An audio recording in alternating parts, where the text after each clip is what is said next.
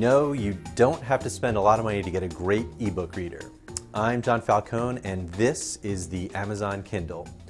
For 2012, the Kindle is now better than ever, but it's also cheaper than ever, starting at just $69 for the ad supported special offers version, or $89 for no ads. It's physically identical to the 2011 model, but page turns are now 15% faster.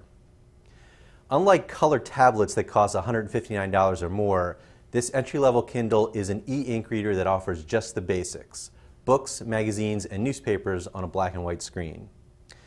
Unlike the more expensive Kindle Paperwhite and Nook Simple Touch, this Kindle has no touchscreen and no built-in light. There's also no 3G option. This is just a Wi-Fi device.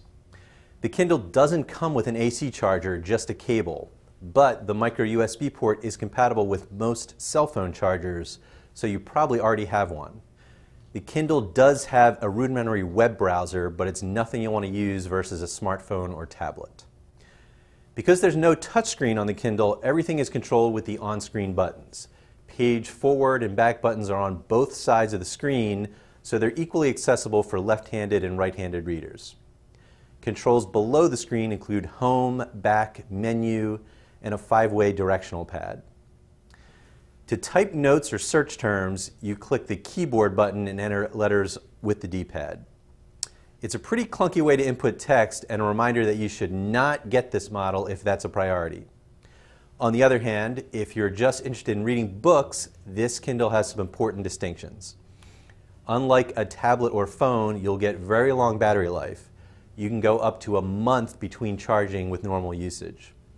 You also get an excellent no glare screen so you can read it in full sunlight. And this Kindle is less than six ounces, so unlike many tablets, it's not difficult to hold even during long reading sessions. The Kindle also gives you access to Amazon's excellent content ecosystem, and only Amazon since it's not compatible with the EPUB file standard. So, while you won't get the ability to buy from non-Amazon stores, you do get Amazon's best-in-class bookstore with more than 1.8 million titles and almost 200,000 exclusives. And because the Kindle can hold up to 1,000 books at a time and offers even more instantly accessible from the cloud, you'll never run out of things to read. Additionally, Amazon Prime members can get access to thousands of free loaners with the Amazon Lending Library. And the Kindle can also be used to get free ebooks from many local libraries as well. The other advantage of the Amazon ecosystem is that it's compatible with reading apps on almost any other device. So, using the WhisperSync feature, you can pick up reading any Kindle book where you left off on an iPhone, iPad, Android tablet, Android phone, Windows phone, Blackberry, pretty much any system with an app store or a web browser. Amazon also offers a Send to Kindle plugin for major web browsers so you can send long articles to your Kindle for later reading. It's pretty much a free version of Instapaper.